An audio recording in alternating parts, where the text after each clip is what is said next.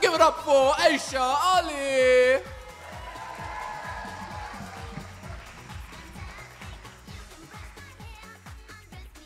Hello. Um, I usually don't do a prelude before I perform, but I thought it was really important to note that I said I'd never do a love poem, and that's not going to change. Um, this poem is going to give you heaps of existential dread, so if you're already having a bad time, you're going to have a much worse time. There's this line from Rumi that goes, You have to keep breaking your heart until it opens. And it's very sadistic, which I'm into, but also I've been inspired to write the most heartbreaking questions I could possibly think of. Or alternatively, you can ask them in an elevator. So this is called Elevator Questions You Can Ask Other Than the Weather. What need is there to injure your body after it is already carcass? Whose sadness did you carry yesterday?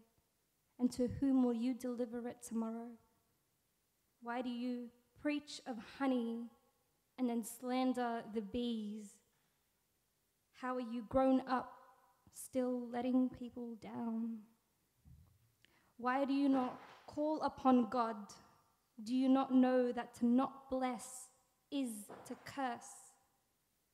Why do you call yourself wound? Do you not know that to praise is to give power? Whom will you love, and how will you arrive at their feet? Why do you reserve your judgment before you reserve your seat? Why do you hold people accountable for your lack of abolition?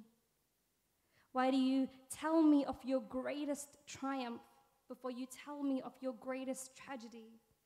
Did you not know that who you are at your lowest defines you more than who you are at your highest? Which lover's lines are still on your lips? If you don't think you deserve better, would you say the same thing to your mother?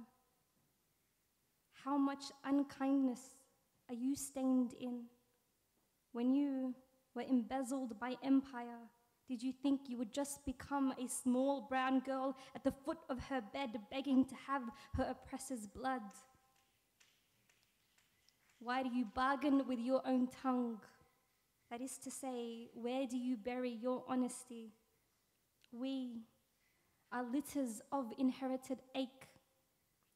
My dad says, What luxury it is to only ever be at war with yourself.